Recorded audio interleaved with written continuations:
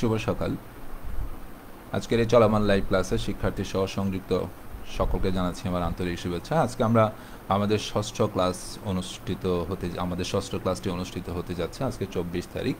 আমরা আমাদের এই ক্লাসে আমাদের সাথে সংশ্লিষ্ট সকল ছাত্রছাত্রীবৃন্দকে সংযুক্ত হওয়ার জন্য অনুরোধ করছি।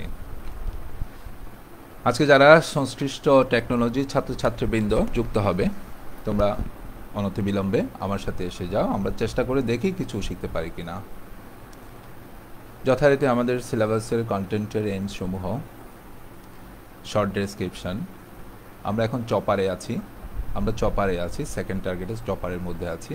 আজকে আমরা চপার যাব ইনভার্টারের কিছু অংশ আছে, অংশটুকু দেখব।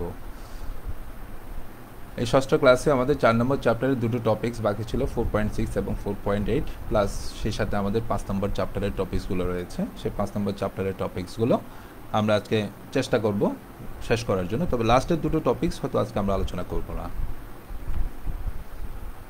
আন্ডারস্ট্যান্ড দ্য ফিচার অফ ইনভার্টারের মধ্যে দুটো অংশ। আমরা এখন চলে এসেছি যে parallel inverter with feedback diodes এর আগে আমরা প্যারালাল ইনভার্টার পড়েছিলাম। যে প্যারালাল ইনভার্টারটা পড়েছি সেই প্যারালাল ইনভার্টার আমরা ফিডব্যাক ডায়োড ছাড়া পড়েছিলাম। এখন দুটো ফিডব্যাক ডায়োড রয়েছে। এখানে প্রশ্ন হচ্ছে যে দুটো ডায়োড রয়েছে ডি ওয়ান এবং ডি টু এই ডি ওয়ান এবং ডি টুর কাজ হচ্ছে, যখন ইন্ডাকটিভ লোড থাকে, ওখানে একটা রিজেনারেটিভ কারেন্ট হয়। সেই রিজেনারেটিভ কারেন্টের জন্য ডি ওয়ান এবং ডি টু ফরওয়ার্ড নেয়। সে ফরওয়ার্ড বায়াস হয়ে রিজেনারেটিভ কারেন্টটি সোর্সের দিকে প্রবাহিত করার জন্য আমরা ডায়োড ডি ওয়ান এবং ডি টুকে ব্যবহার করে থাকি। আর যদি এখন চিন্তা করি, বাকি কাজটুকু কিন্তু আমাদের যে আগে আমরা প্যারালাল ইনভার্টার পড়েছিলাম সেই ইনভার্টারের মতোই। চলো আমরা এই কার্ভের মাধ্যমে সেটাকে দেখার চেষ্টা করি যে কীভাবে কাজটা করে। আমরা যখন ইনিশিয়ালি তাকে স্টার্ট করব, যে এসসিআর টিআর ওয়ানকে প্রথম আমরা স্টার্ট করব। যখন আমরা এসসিআর টিআর ওয়ানকে স্টার্ট করব, তখন কি অবস্থায় আমার প্রত্যেকটা অংশ রয়েছে আমরা দেখি যে টিআর ওয়ানকে যখন ট্রিগার করা হয়েছে বেসিক্যালি এখানে আমরা দেখতে পাচ্ছি কি এসেছে, যে পয়েন্ট ভিসি হলো টু ভিএম এই ভিসি টু ভিএম এখানে মাইনাস এখানে প্লাস ঠিক আছে? টু ভিএম হওয়ার পরে আর ওই সময়ে আমাদের এসসিআর ওয়ানে কোনো কারেন্ট প্রবাহিত, কোনো কারেন্ট প্রবাহ হওয়ার কারণে এখানে কোনো ভোল্টেজ ড্রপ হচ্ছে না। এজন্য বলা হচ্ছে ভিটি ওয়ান যেটাতে কোনো ভোল্টেজ ড্রপ হচ্ছে না। এরপরে আসতেছে আমার ক্যাপাসিটার ক্যাপাসিটার ফুল চার্জ অবস্থায় আছে, কোনো কারেন্ট প্রবাহিত হচ্ছে না। এবং আমরা আউটপুট থেকে এখানে কি পাচ্ছি? লোড একটা নেগেটিভ লোড কারেন্ট প্রবাহিত হচ্ছে। ঠিক আছে? এই অবস্থা থেকে আমরা এখন দেখতে পাচ্ছি যে কন্ডিশনটি কন্টিনিউইং আছে। যদি আমরা এই আইজি টু অর্থাৎ এই এসসিআর টু এর গেটকে ট্রিগার করি এসসিআর টু এর গেটকে ট্রিগার করা মাত্র ক্যাপাসিটার কি করবে? এই এসসিআর টু এর মধ্য দিয়ে ডিসচার্জ হওয়া শুরু করবে। তার ডিসচার্জ হওয়ার পাথ হচ্ছে, আমি যে পথে আগাচ্ছি, এই যে বেগুনি কালারের যে ডিরেকশনটা রয়েছে, সেই ডিরেকশনে গিয়ে সে তার সার্কিট কমপ্লিট করবে এবং সেই সাথে ক্যাপাসিটর উল্টো পোলারিটিতে চার্জ করা শুরু করবে। এই ডিসচার্জিং পাথটা যখন তাকে উল্টো পোলারিটিতে চার্জ করা শুরু করবে, তখন এই ক্যাপাসিটরটি তার পোলারিটি চেঞ্জ করে নেগেটিভ চার্জ গ্রহণ করবে। তখন এই পোলারিটি এদিকে মাইনাস হয়ে যাবে, এদিকে প্লাস হয়ে যাবে। ঠিক আছে, ঠিক ওই মুহূর্তে ক্যাপাসিটরের যে চার্জিং কারেন্টের পরিবর্তন হচ্ছে, সেই পরিবর্তনের জন্য এসসিআর ওয়ানের অ্যাক্রস একটি নেগেটিভ ভোল্টেজ অ্যাপ্লাই করবে। কে? এই এসসিআর ওয়ানের এই নেগেটিভ ভোল্টেজটা ক্যাপাসিটরের ডিসচার্জিংয়ের কারণে অ্যাপ্লাই হওয়া মাত্র এসসিআর ওয়ান অফ হয়ে যাবে এবং এসসিআর অফ হয়ে যাওয়ার কারণে কোনো কারেন্ট প্রবাহ হবে না, তখন তার অ্যাক্রস একটা ভোল্টেজ ডেভেলপ করবে। ঠিক আছে? এ মুহূর্তে আমরা দেখি ক্যাপাসিটারের কারেন্ট যে ক্যাপাসিটার একটা নেগেটিভ কারেন্ট ফ্লো করেছিল, যে কারণে এই এসসিআর ওয়ানের অ্যাক্রস একটা নেগেটিভ ভোল্টেজ গিয়েছিল, সে কী হয়েছে? অফ কন্ডিশনে চলে গেছে। এবং সেক্ষেত্রে আমার কারেন্ট প্রবাহের ডিরেকশন পরিবর্তন হয়ে সে পজিটিভ দিকে গিয়েছে। তাহলে দেখা যাচ্ছে যে আমার এসসিআর এর কন্ডাকশন পরিবর্তনের সাথে সাথে আমার কারেন্ট প্রবাহের দিকও পরিবর্তন হয়েছে। এই কারেন্ট প্রবাহের দিক পরিবর্তন হওয়ার কারণ হলো, আমরা দেখতে পাই যখন আমার এসসিআর ওয়ান ছিল কারেন্ট প্রবাহ ছিল এই পথে এসে পজিটিভ থেকে এসে সি হয়ে এ হয়ে এসসিআর ওয়ান হয়ে এল এর মাধ্যমে সে সার্কিট কমপ্লিট করেছিল। কারেন্ট ছিল উপরের দিকে। আর এসসিআর টু যখন অন হবে, তখন কারেন্ট যাবে পজিটিভ হয়ে সি এর মধ্য দিয়ে এই প্রান্ত হয়ে বি প্রান্ত হয়ে এল হয়ে নেগেটিভ দিকে কারেন্ট এর পাত্তা সে পূরণ করবে। এর অর্থ হচ্ছে এসসিআর ওয়ানের সময় কারেন্ট ছিল উপরের দিকে এসসিআর টু এর অপারেশনের সময় কারেন্ট হলো নিচের দিকে। অর্থাৎ এখানে একটি পরিবর্তনশীল আউটপুট কারেন্ট পাওয়া যাচ্ছে। এর মাধ্যমে আমরা কি করেছি? যে ডিসিকে এসিতে রূপান্তরিত করেছি। ঠিক আবার যখন আমরা ট্রিগার করব কাকে? এসসিআর ওয়ানকে ঠিক ওই মুহূর্তে কি হবে? এসসিআর ওয়ান ট্রিগার হবে এবং ট্রিগার হওয়ার পর ভোল্টেজের পোলারিটি চেঞ্জ হবে। তখন এই আইসির এই পজিটিভ দিক এসে আমার এসসিআর টুকে রিভার্স করে দেবে। রিভার্স করে দেওয়ার কারণে কি হবে? আমার এসসিআর টু অফ কন্ডিশনে চলে যাবে। ঠিক আছে? এবং এসসিআর ওয়ান অন কন্ডিশনে থাকবে। এভাবে আমরা যতক্ষণ এসসিআর ওয়ান এবং এসসিআর টুকে ট্রিগার করব। আমার এই parallel inverter with feedback diode সার্কিটটি ডিসিকে এসি সিগনালে পরিণত করবে। এভাবে আমার এই প্যারালাল ইনভার্টার কাজ করে যাবে।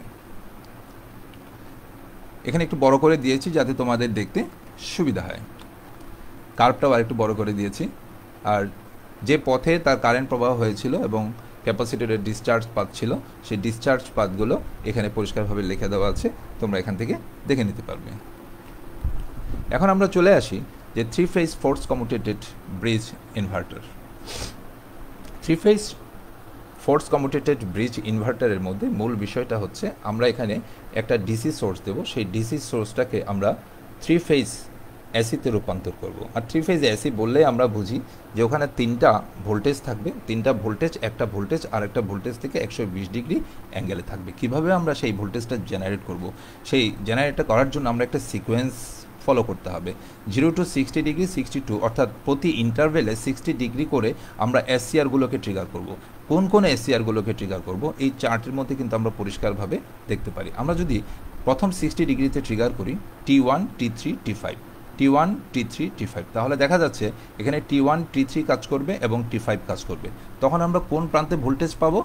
V BR V BR V BR অর্থাৎ দুটো প্যারালাল টার্মিনালের ভোল্টেজ। আর এখানে হচ্ছে একটা single winding voltage V Y অর্থাৎ ভি ওয়াই ঠিক আছে? তাহলে ভি আর এটা হচ্ছে প্যারালাল ওয়েন্ডিং এটা হচ্ছে সিঙ্গেল ওয়েন্ডিং এই প্যারালাল ওয়েন্ডিং এবং সিঙ্গেল ওয়েন্ডিংয়ের ভোল্টেজ কত হবে, সেটা আমরা এই কার্ভের মাধ্যমে এখানে দেখতে পাবো। এখানে দেখি ভি আর এন এন হলো এটা আর হলো এটা, অর্থাৎ একটা ফেজের বা সিঙ্গেল ওয়েন্ডিং আর এখানে আছে কি?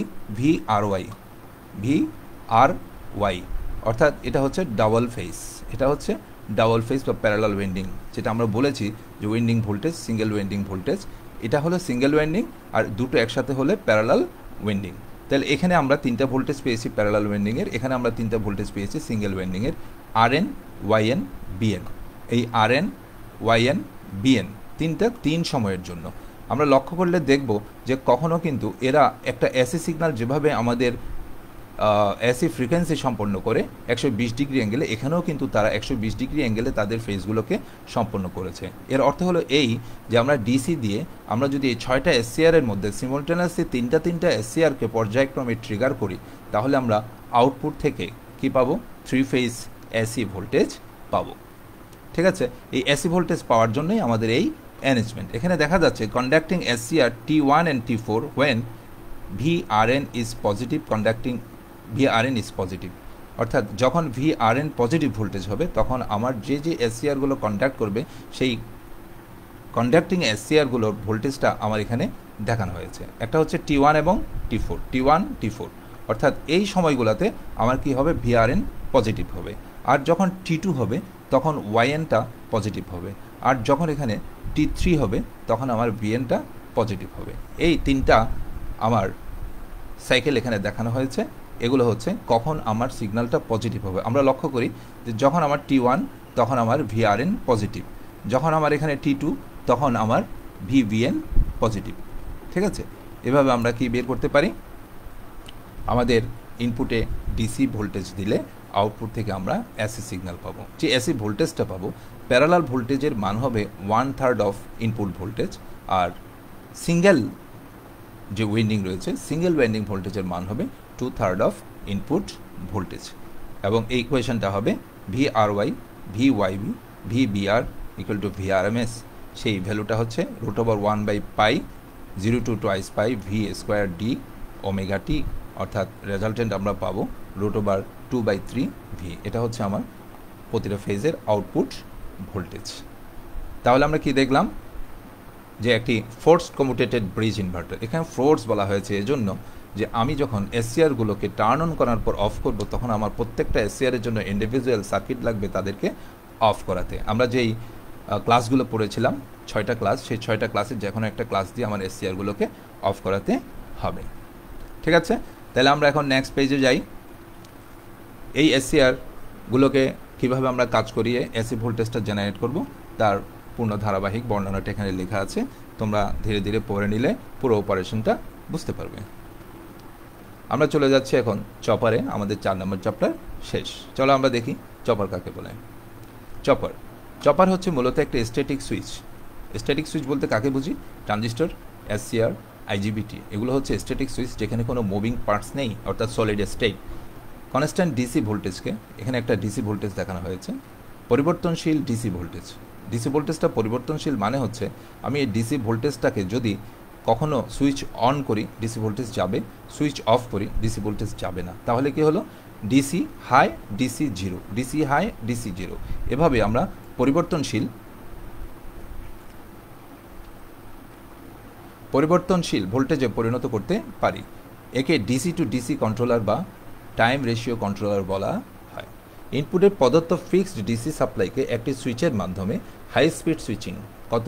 চারশো থেকে ওয়ান কিলো হার্টস অর্থাৎ প্রতি সেকেন্ডে চারশো থেকে এক হাজার বার অন অফ অ্যাকশনের মাধ্যমে পরিবর্তনশীল ডিসি ভোল্টেজে রূপান্তরিত করা যায়। এই হাই স্পিড সুইচকেই বলা হয় চপার অর্থাৎ চপার হচ্ছে একটি হাই স্পিড সুইচ যেখানে আমরা ইনপুটে একটি ডিসি ভোল্টেজ দিলে সেই ডিসি ভোল্টেজকে প্রতি সেকেন্ডে চারশো থেকে এক হাজারটা পালসে আমরা পরিণত করে একটি পরিবর্তনশীল ডিসি তৈরি করতে পারি।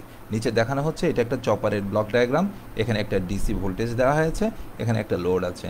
ইনপুটে হলো straight DC voltage pure DC output থেকে আমরা পাচ্ছি, যখন চপার অন থাকে, তখন টি অন যখন অফ থাকে, তখন টি অফ অর্থাৎ সুইচ যখন অন তখন টি অন আউটপুটে কারেন্ট যায় ভোল্টেজ পাওয়া যায়, আর যখন সুইচ অফ থাকে আউটপুটে কোনো কারেন্ট যায় না ভোল্টেজ পাওয়া যায় না। ঠিক আছে? নিশ্চয় কোনো সমস্যা নেই? আমরা কি করতে পারি? চপার অ্যাকশনের মাধ্যমে ইনপুট ডিসি সাপ্লাইয়ের ফিক্সড ডিসি ভোল্টেজকে পালস ভোল্টেজে রূপান্তর করতে পারি। তবে উৎপন্ন ও পালসমূহের অ্যাম্প্লিচিউড ইনপুট ভোল্টেজের সমান থাকে। অর্থাৎ এই অ্যাম্প্লিচিউডটা এই ভোল্টেজের সমান থাকবে। তাহলে আমরা একটা চপার সম্পর্কে সম্যক ধারণা পেয়ে গেলাম যে চপার হলো আসলে একটা স্ট্যাটিক সুইচ যার ইনপুটে ডিসি সিগন্যাল দিলে আউটপুট থেকে একটা পরিবর্তনশীল ডিসি সিগন্যাল পাওয়া যায় এবং সেই পরিবর্তনটা ডিপেন্ড করে সুইচিং অ্যাকশনের উপর। সুইচ যত দ্রুত অন অফ হবে, আমার আউটপুট ভোল্টেজের হাই এবং লো পোর্শনও তত বেশি হবে। আর হাই পোর্শন যত বেশি হবে আউটপুট ভোল্টেজ তত বেশি হবে। আর হাই পোর্শন যদি ছোট হয়, তাহলে আউটপুট ভোল্টেজও কম হবে। অর্থাৎ এই অন এবং অফ টাইমকে আমরা কি করতে পারি? ডিউরেশনটাকে পরিবর্তন করতে পারি। এখানে আবার একটু দেখিয়েছি। একটু বড় করে দিয়েছি, আগে ছোট ছিল। Input voltage chopper DC voltage load আর এই লোডের মধ্যে এটা অন এটা অফ যখন লোডে কারেন্ট যাবে সুইচ অন থাকবে, আর যখন অফ থাকবে কারেন্ট যাবে না।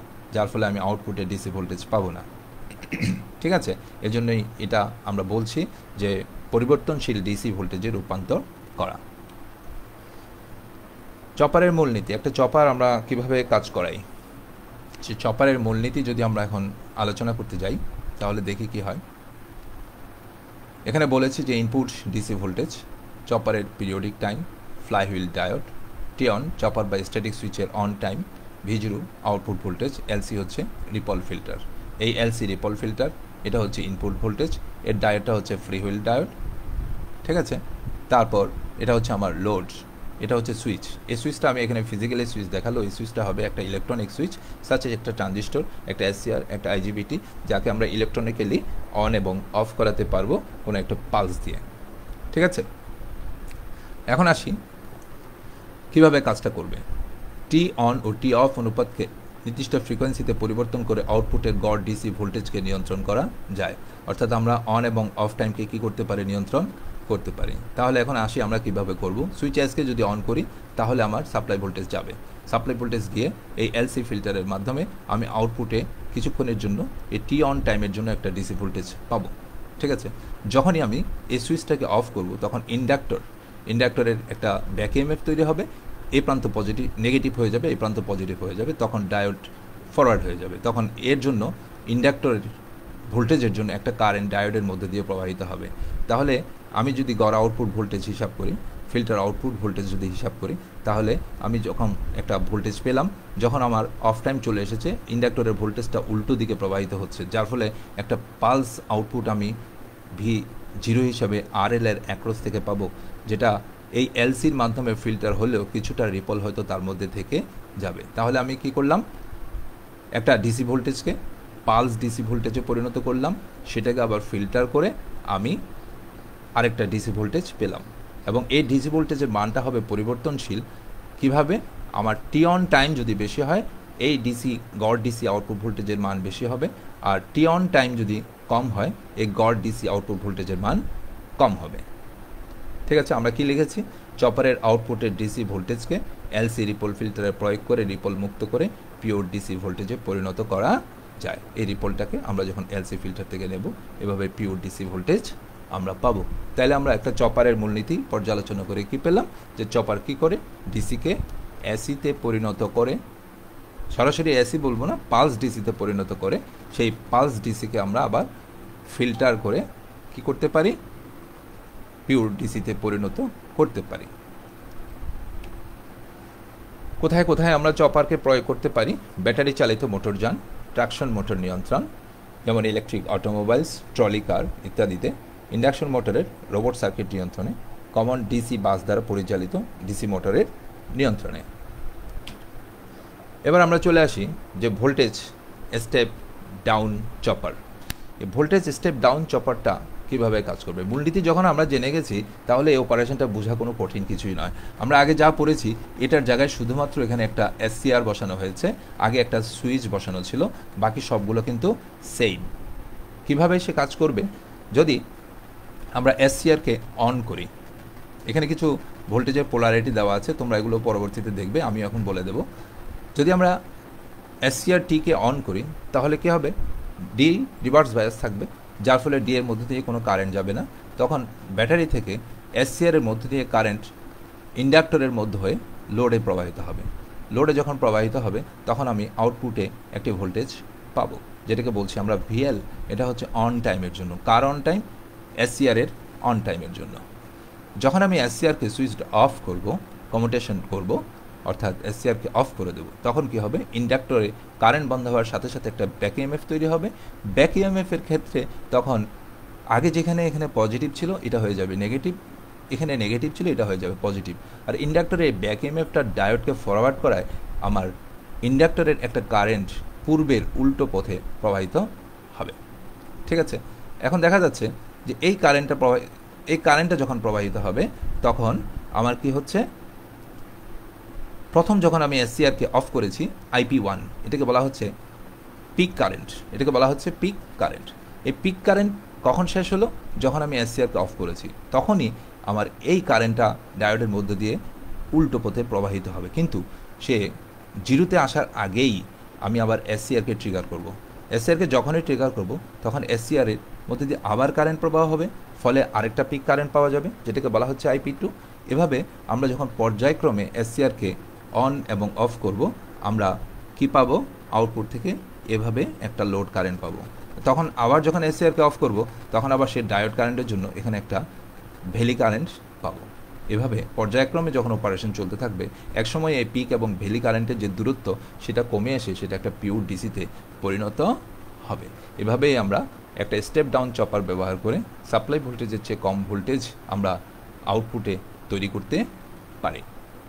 তাই এটাকে বলা হচ্ছে স্টেপ ডাউন চপার যেটা আমার ডিসি ডিসি থেকে আমি পরিবর্তনশীল ডিসি করেছি, ওখান থেকে অ্যাভারেজ ভ্যালু নিয়ে আমরা কোনো একটা ভ্যালু ডিসি পাবো। এখানে পুরো বর্ণনাটা লিখে দেওয়া আছে। আর যে ইন্ডাক্টরের ভোল্টেজের কথা বলেছি ব্যাক এমএফ সেই ব্যাক এমএফ হচ্ছে এলডিআই বাই ডিটি এই ভোল্টেজটা জেনারেট হবে বলে ওখানে একটা ব্যাক এমএফ হবে যেটা ডায়োডকে ফরওয়ার্ড করবে, ঠিক আছে? এবং এই যে ফ্রি হুইলিং কারেন্ট যেটা আইডি প্রবাহিত হয় সেটা এখানে বলা আছে এবং পিক পয়েন্ট ভ্যালি পয়েন্ট কারেন্টগুলোর কথাও বলা আছে, তোমরা এটা এখান থেকে পড়ে নিলে দেখতে পারবে। এই কোয়েশনগুলো দেওয়া আছে যে গড় আউটপুট ভোল্টেজ কত? ইকুয়েশনগুলো দেখে নেবে, তোমাদের বইতেও আছে। যে আউটপুট ভোল্টেজ এবং ইনপুট ভোল্টেজের ডিফারেন্সকে আমরা বলি ভোল্টেজ কনভার্সন রেশিও যেটাকে কে বা ডি দ্বারা প্রকাশ করা হয় এবং কন্টিনিউয়াস ভ্যালি কারেন্টের সমীকরণ পিক কারেন্টের সমীকরণ পিক টু পিক ডিপোল কারেন্টের সমীকরণ এবং লোড কারেন্টের ডিসি কম্পোনেন্টের মান। এই সমীকরণগুলো আমরা পড়ে নেব। এখানে টি হচ্ছে time constant L by R অর্থাৎ আর এল সার্কিটের যে টাইম কনস্ট্যান্ট সেটাকে আমরা বলি, কি বলি? Time constant L by R এটা আর এল সার্কিটের ক্ষেত্রে। এবার চলে আসছি step up chopper step up চপারের মধ্যে আমরা কি পরিবর্তন এনেছি? ডায়োডটা এখানে লাগিয়েছি, এখানে অ্যাসিয়ারটা লাগিয়েছি ইন্ডাক্টরটা এখানে লাগিয়েছি, এখানে একটা ক্যাপাসিটর দিয়েছি, এখানে একটা লোড সংযুক্ত রয়েছে, আর আমার সাপ্লাই ভোল্টেজটা রয়েছে। এখন যদি আমি স্টেপ আপ চপার বলি, কেন এটা স্টেপ আপ স্টেপ আপ হওয়ার কারণ হচ্ছে আমি ইনপুটে যা ভোল্টেজ দেবো আউটপুটে তার চেয়ে দ্বিগুণ ভোল্টেজ পাবো। কীভাবে পাবো? সেটাই হচ্ছে আমাদের আলোচনার বিষয়। আমরা এখানে পোলারিটিগুলো দিয়েছি, যে কোনটা কোন current charging path of capacitor direction of ACR current R polarities correspond to the charging current when T is off এটা যখন, এই পোলারিটি হচ্ছে যখন টি অন থাকে, আর এই পোলারিটি হচ্ছে যখন টি অফ থাকে। এটা হচ্ছে টি এটা হচ্ছে ডি টি মানে থাইরিস্টার বা এসিআর আর এটা হচ্ছে ডায়োড ঠিক আছে? তাহলে এখন আমি কাজটা কীভাবে করব? কাজটাতে আমরা যদি আসি, তাহলে দেখি। প্রথম আমি এসিআরকে অন করব। এসিআরকে অন করা মাত্র এই ভোল্টেজ ইন্ডাক্টরের মধ্য দিয়ে কারেন্ট প্রবাহিত করবে। কোন পথে? আইডিসি আইডিসি এই কারেন্টটা কিন্তু আমার লোডে যাচ্ছে না। এই কারেন্টটা কিন্তু আমার লোডে যাচ্ছে না। আমার এই এসসিআরের মধ্য দিয়ে কারেন্টটা ফ্লো করা মাত্র আমার এখানে একটা পোলারিটি সৃষ্টি হবে। এখানে পজিটিভ এখানে নেগেটিভ এবং এসসিআর ফরওয়ার্ড হবে কারেন্ট যাবে। যার ফলে এখানে একটা ফ্লাক্স সৃষ্টি হবে। এই সৃষ্টি হবে? ফ্লাক্স যখনই আমি এসসিআরকে অফ করব, তখনই এই ফ্লাক্সটার কারণে এখানে একটা ব্যাক এমএফ তৈরি হবে। এই ব্যাক এমএফটা পোলারিটি হবে, এদিকে নেগেটিভ এদিকে পজিটিভ যেটা ডায়োডকে ফরওয়ার্ড করবে। এখন আমরা যদি লক্ষ্য করি, এটা পজিটিভ নেগেটিভ পজিটিভ নেগেটিভ তাহলে এই সোর্স ভোল্টেজ এবং ইন্ডাক্টরের সঞ্চিত ভোল্টেজ দুটো সিরিজে যুক্ত হয়ে কিন্তু টু ভি এর সমমান হয়ে গেছে। কি হয়ে গেছে?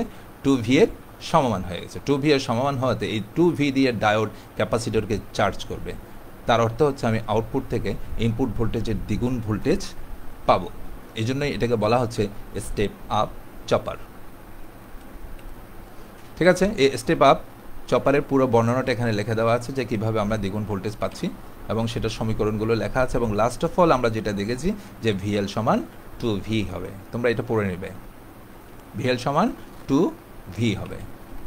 এবার আসতেছে জোন্স চপার এই জোন্স চপার কীভাবে কাজ করে? জোন্স চপারের মধ্যে মেইন বিষয় হচ্ছে আমরা একটা ডিভাইসকে ব্যবহার করে এসিআরকে অফ করব। অর্থাৎ এখানে একটা এসিআর হচ্ছে টি ওয়ান সে হচ্ছে কন্ডাক্টিং এসিআর আর টি টু হচ্ছে এই টি ওয়ানকে এসসিআরকে বন্ধ করার জন্য এই টি টু এসিআরটা ব্যবহার করা হয়েছে। তাছাড়া এই টি টু এসিআর কিন্তু সরাসরি আমার কন্ডাকশনে কোনো কাজ করছে না, তাকে আমরা শুধু ব্যবহার করছি এসিআর টি ওয়ানকে অফ করার জন্য। তাহলে আমরা আসি, যদি এসিআর টু অফ থাকে এবং এসিআর টি অন থাকে, তাহলে কি হবে? তাহলে যে কাজটা হবে পজিটিভ থেকে টি ওয়ানের মধ্য দিয়ে কারেন্ট এল ওয়ানের মধ্য দিয়ে লোডে প্রবাহিত হবে। প্রবাহিত হলে আমি আউটপুট ভোল্টেজ পাবো। এখানে লেখা আছে উপরে প্লেট পজিটিভ থাকবে এসসিআর অনকে অন করা হলে টি ওয়ান এবং এল ওয়ানের মধ্যে দিয়ে সিরিজ লোডে প্রবাহিত হবে কারেন্ট হবে আইএল সমান আই টি ওয়ান অর্থাৎ এসসিআর টি ওয়ানের কারেন্ট আর capacitor C T one L two D two এর মাধ্যমে ডিসচার্জ হবে। যখন এই পাতটা ওপেন হয়ে যাবে, তখন এই ক্যাপাসিটর সি টি ওয়ান এই T one L two L two এবং ডি টু অর্থাৎ এই পথে এসে ক্যাপাসিটর তার ডিজের সার্কিটটা পূর্ণ করবে। পূর্ণ করে হবে কি? যখন কারেন্ট উল্টো দিকে প্রবাহিত হওয়া শুরু করবে, তখন এর পোলারিটি চেঞ্জ হতে শুরু করবে। এর পোলারিটি চেঞ্জ হয়ে কি হচ্ছে? দেখো এখানে পরিষ্কার, এটা অন এটা অফ এই দিক থেকে এসে পোলারিটি চেঞ্জ হয়ে এটা পজিটিভ হয়ে গেল।